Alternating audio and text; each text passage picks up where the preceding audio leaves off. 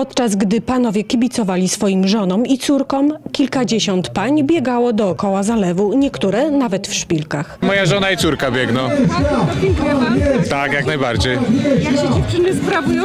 A bardzo dobrze, biegają już od paru lat.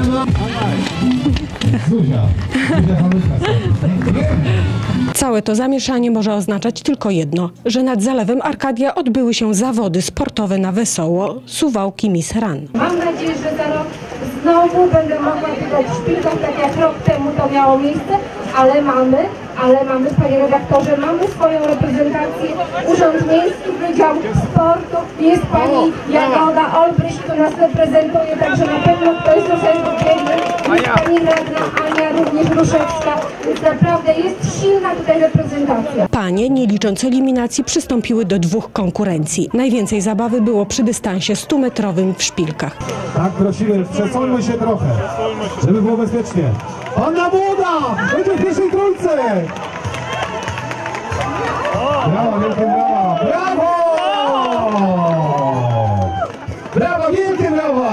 Jestem wyczerpana, aczkolwiek tutaj z koleżankami żeśmy ćwiczyły nad zalewem, dlatego poszło mi tak dobrze. Dziękuję za doping, dziękuję moim wszystkim kibicom. Dzięki, jesteście super. Bardzo fajna inicjatywa. Treningi trwały codziennie o 6 rano. Od 6 rano, tak, do 6 wieczorem. To wszystko też zasługa mojego kochanego męża, który jak chodziłam na trening zajmował się dziećmi.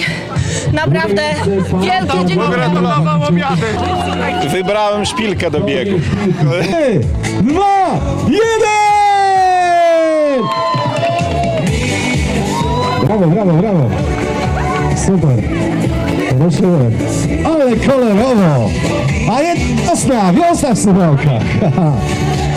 Super! W dystansie na 3,5 kilometra równych sobie nie miała Katarzyna Gorlo, która co prawda mieszka w Warszawie, ale z naszego miasta pochodzi i tutaj współpracuje z Osirem jako trenerka. Mistrzyni niedawno miała kontuzję i jak widać dochodzi do formy. Przyznam szczerze, że miała być zabawa, ale od początku z dziewczynami się ścigałyśmy i było ciężko, naprawdę.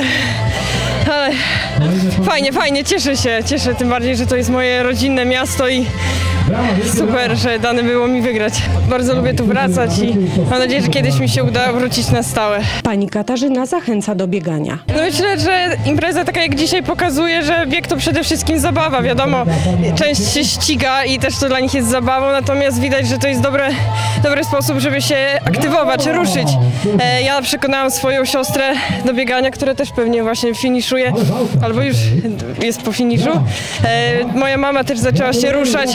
To wcale nie chodzi o czas i ściganie, ale to jest nawet na poprawę humoru świetna sprawa. Jest tylko jeden sposób, by przekonać się, czy to zadziała. Jak ktoś spróbuje, to już później wie o co chodzi. Wystarczy zrobić pierwszy krok i o czym właśnie się przekonaliśmy, nie potrzebujemy do tego sportowego markowego obuwia.